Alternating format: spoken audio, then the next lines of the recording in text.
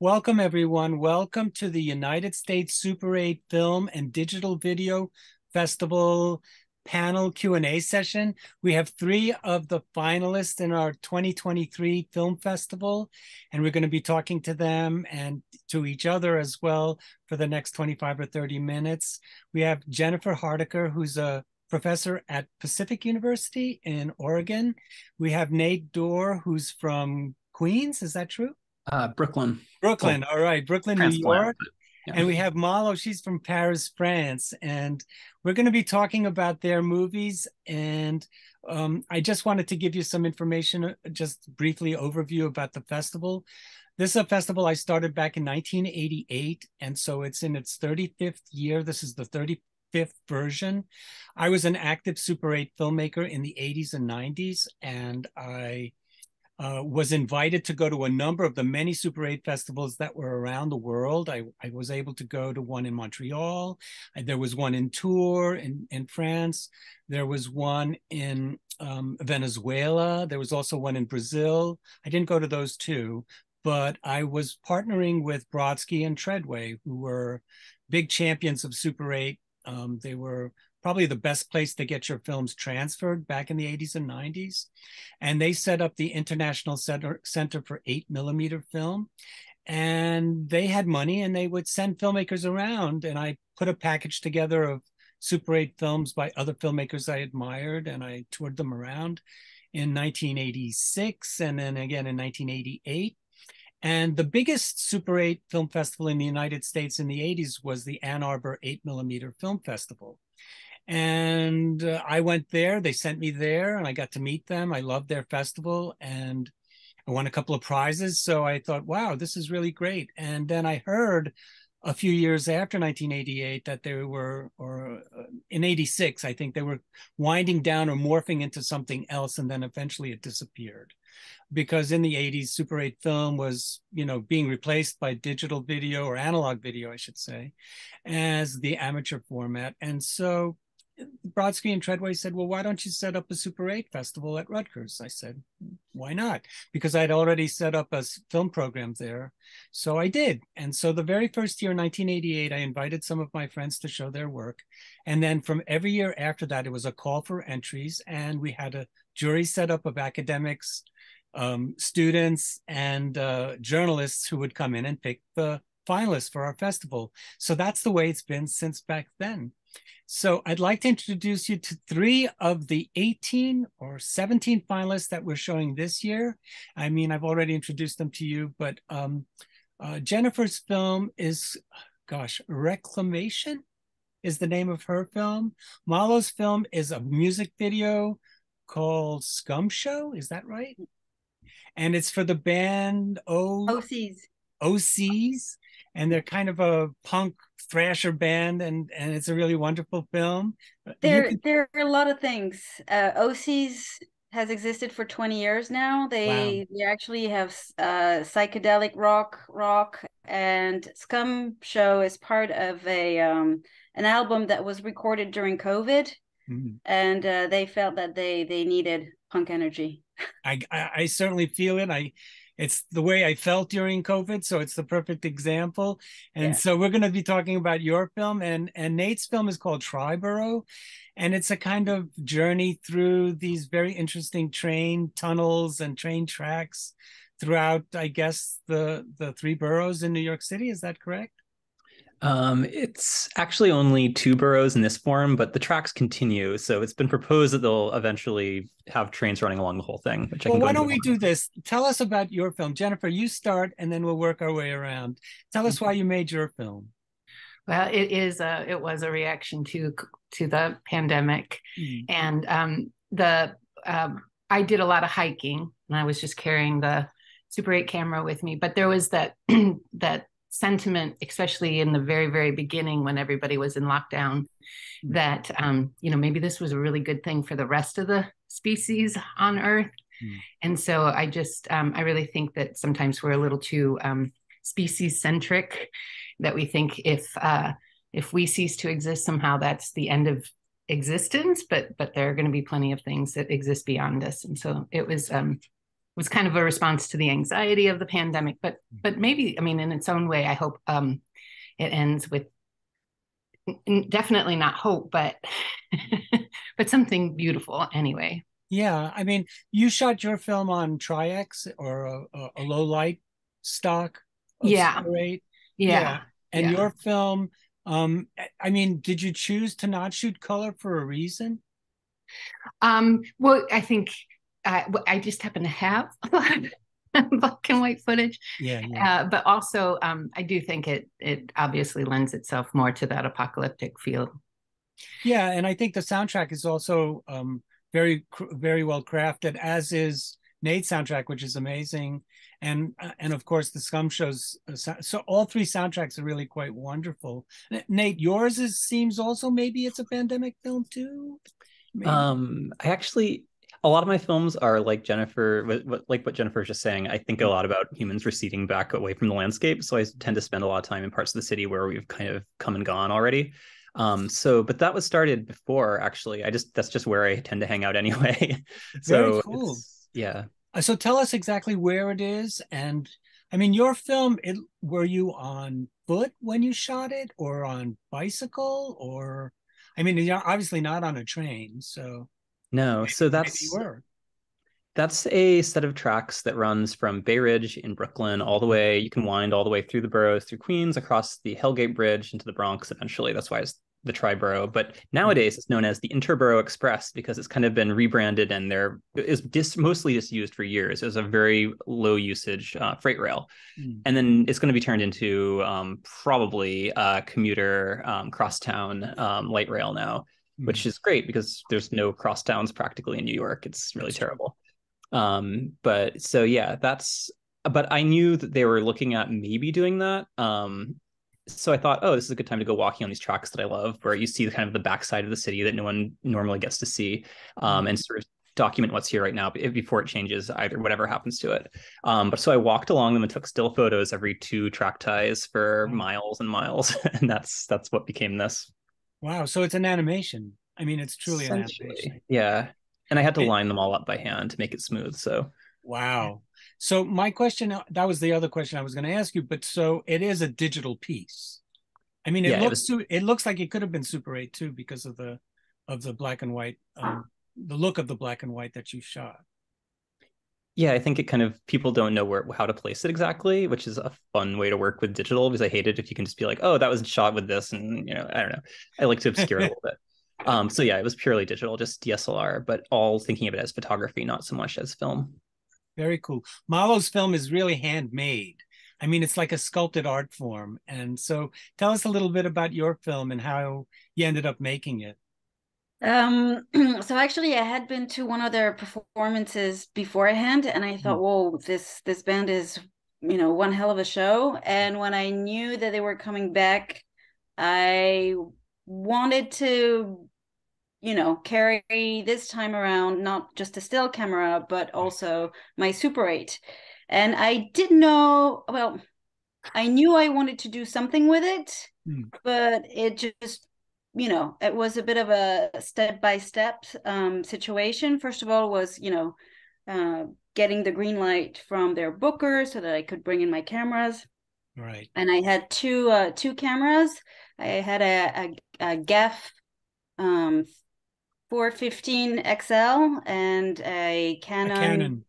Uh, yeah, a, a Canon uh, 514 XLS, which died there. Actually, yes, I think it took an elbow in the pit, and it just uh, it went, you know, it, it went dead. uh, good thing I had two cameras. Hmm. Uh, and so, yeah, I wanted to capture the energy of the show and to give it as a gift to the band. And hmm. then as we talked, we were like, okay, well, you know, and I was, I, I knew they had a new um uh album coming out and i pretty much told them is it okay if i use this footage to maybe work on a soundtrack mm-hmm. from one of the tracks from um a foul form? And they're like yep. And uh john dwyer is really a lovely man and a huge fan of the film form. Um and so he just he pretty much let me do whatever i wanted to do with it and as part of an experimental collective lab in, lab in New York, and also just a huge fan of the lab in general, maybe with photography or film. Mm. Uh, I um, I processed the film myself, mm. colored it, did a little bit of uh, editing um, on it, and then just use the computer as an easier way to edit and maybe do uh, um, double exposures that I just I couldn't do with film unless I had a budget, which I didn't have.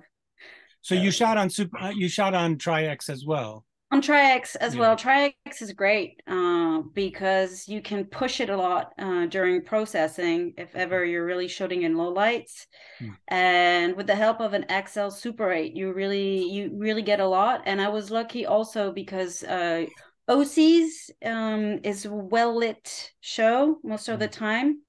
Um, so yeah, I, I was I was um it turned out to be good but i pushed it i pushed it um three three steps up wow. you know? Mm-hmm. mm-hmm. yeah. and did you scratch on the film after the fact or is that yeah i scratched out I, I, I scratched it out by hand uh, colored it i um for the the middle piece where it goes a bit noisy uh, and blue i sliced the super 8 in two and then taped it on other super 8. so i had a little bit of fun arts and crafts yeah yeah on. that's what it's it's really a very well a, a, a sculpted film that's what I, th- I thought of it when i saw it so yeah the the idea was really to um as much as the band was doing an homage to the 80s uh punk scene my mm. idea was to follow that same idea and follow whatever the guys were doing in the 80s as well uh, with film. So, you know, the scratching, the coloring, the slicing, the taping,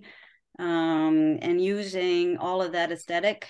And uh, yeah, I, w- I was really happy of how it turned out. Um, I'm very happy that I got the support both from the venue, the band, and it was a lot of fun to make. A lot.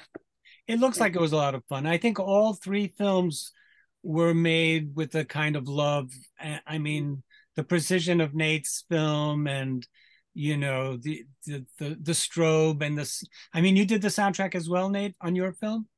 Oh nice. so all field what, recordings yeah. what all field recordings wow. But modified field recordings but yeah. Right right. But i mean there are some instruments in there. I mean no um there were a couple instruments but a lot of the uh, melodic sounds were things i found on the tracks and just right. sampled essentially and you kind of used echo as a, a way for them to kind of sound like they're looped like your images. Yeah, well, the the film is following the tracks, so the sound kind of skips along the tracks too. Gotcha, gotcha. That's beautiful. So, do you guys have questions for each other? No question, but I just wanted to tell you both how much I enjoyed your films. I, I just and and I saw a lot of resonances, Nate, between ours, and then uh, Marie, I I was punk kid. it just made me so happy. yeah. I got to see the Ramones at CBG. Not at oh my god! I got to see them at a very. I was just watching this really bad docudrama called CBGB with uh, uh, uh, Alan Rickman as uh, Hilly Hilly Kristal. it's not very good, but it did bring back memories of the bands that I got to see back then. So, well, okay let's do this so we can teach the folks how to buy some tickets. So I'm going to share screen in a second and we'll come back and ask one more question. So let me just do this first before I forget. And so we share screen and we do this one. And I guess the way that most people find us is by going to our website, which is up here. And you would most people go to njfilmfest.com because it's the parent festival where the super 8 festival is housed. And you would get to the welcome center. This is a picture of the venue. So nate when you're coming this is what it looks like. We're a block away from the new brunswick train station. I highly recommend not coming by car um, it's best to take a train from penn station and take new jersey transit usually at the time of day there's like one every half hour and it takes about an hour. But we're literally walking distance, like two minute walk from the train station. I was thinking of trying to bike. We'll see if that works. But oh my god, uh, good luck with that. anyway, so when you get to our homepage, you just click on current events, which bounces you down, keep going. Normally you could go here, and I think it still directs you to our site, which it does. And here you'll get the overview. This is where you would buy tickets, but you can get um, an overview of the entire program on the schedule page. So you would go to the festival site and then you would click schedule, which I already have open. So it's a lot easier. So I don't have to scroll all the way down. But um, the Super 8 Festival is taking place on Saturday, February 18th. There's two programs, but only one of them is in person. Um, the program is completely online for all three programs, but two of them will be in person. Um, the seven o'clock show was going to be in person, but because there's some work being done in the space that the university is booting us out. So I'm only doing that screening, um, the seven o'clock screening on the first show date is going to be online only. So as you can see, there's a lot of films. This is the very first program, which uh, Jennifer's film and Nate's film is part of. And there's a film from Boston, uh, two films from England that are part of the Straight Eight Festival, where you shoot unedited. This is a film from Brazil that was really quite wonderful. This is a film from Buda, Texas by Heidi Van Horn, also using Tri-X. Here's a still from Jennifer's film. Uh, this is a kind of B movie goof by John Hines from Colorado called From Above. Here's a beautiful still from Nate's movie, Triboro. And The Winter Fern is also a digital film, as is uh, Martin Garrick's collage film. That's also digital. But I'd say 80% of what we're showing is Super 8, like Eric Jacobson's Egypt, Place in Eden is from Israel. That's a digital film.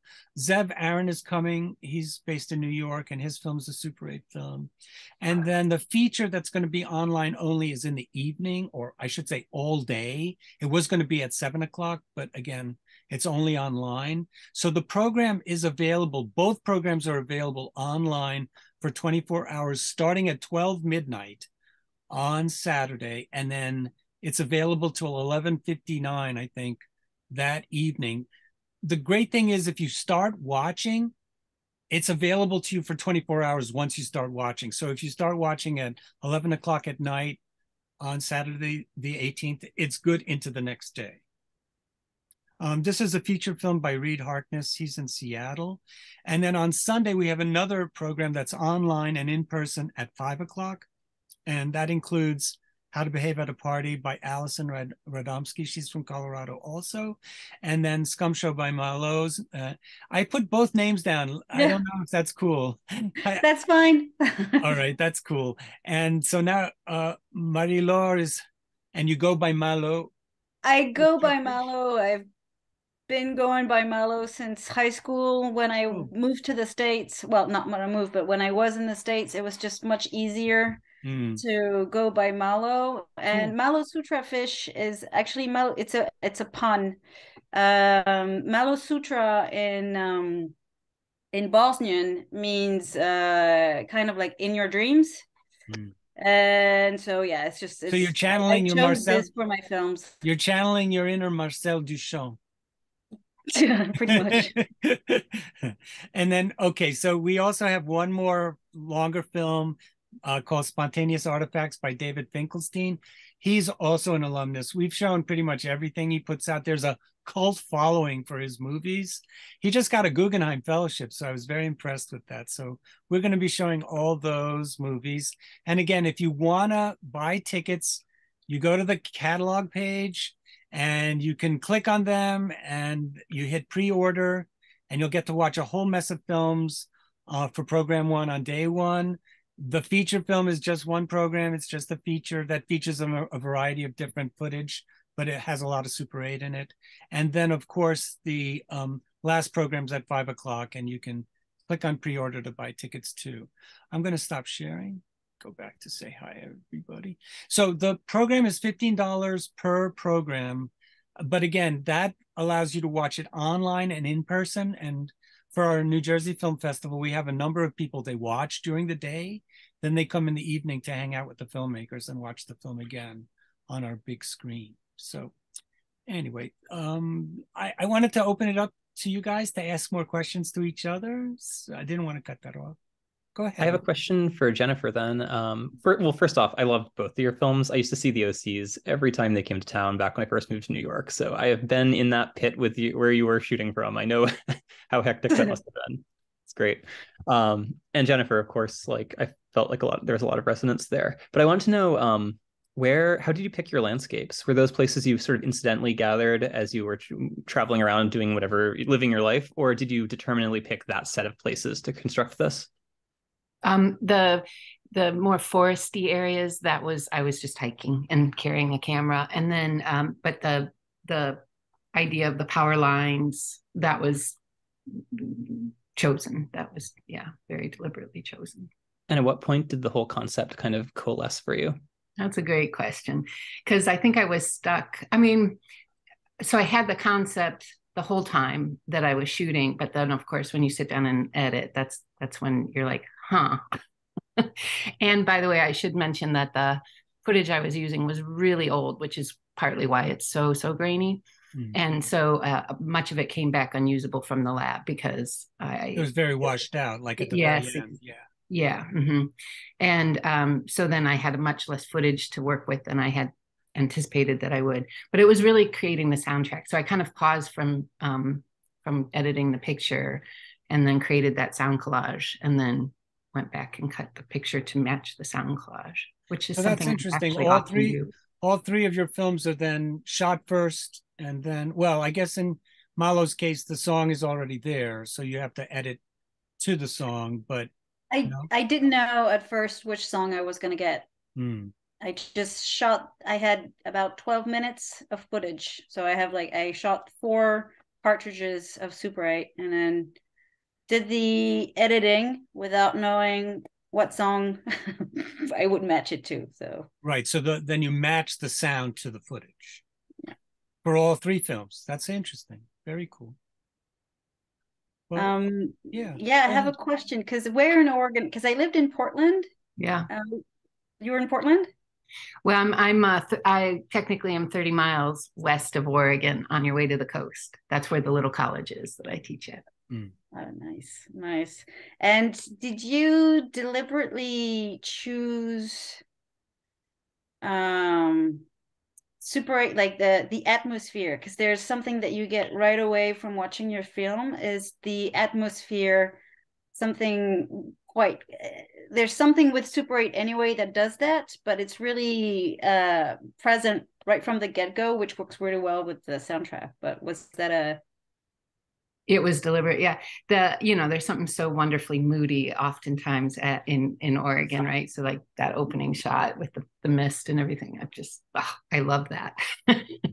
Yeah it's it's it's very effective uh, and very efficient uh, and uh, but it's nice sometimes how accidents also bring something because of the you said that your footage was um some of it was unusable but towards the end we get something on the film that just adds up to that which i know i'm i'm a big fan of personally when i with film. I think accidents are wonderful.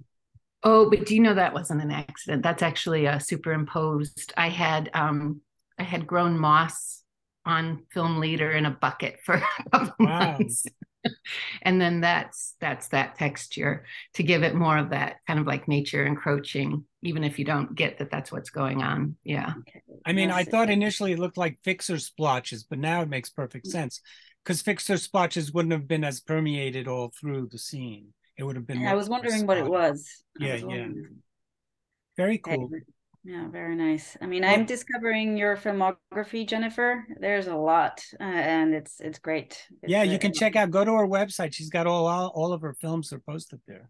Thank and you. Nate, your film as well is awesome. I I love structuralism um, films, and it reminded me of a work done. I was looking for his name. I forgot it, but it's called The Grid.